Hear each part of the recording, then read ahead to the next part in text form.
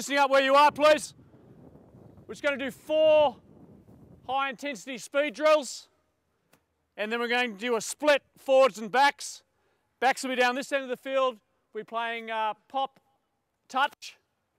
Forwards at the far end of the field playing Fijian touch.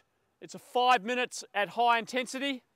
And then basically moving on from there into the regular uh, captain's run with some alignment drills first.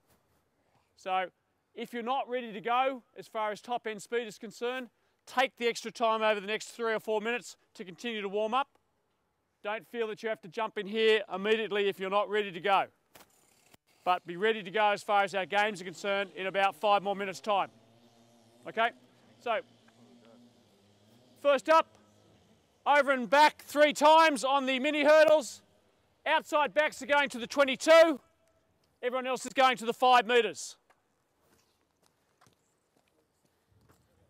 Nice and quick off the ground. Light and fast off the ground, accelerating out. Easy walk back recoveries, please. Over and back three times. Outsides to the 22, everyone else to the five. At pace, please, gentlemen, let's go. Power it up.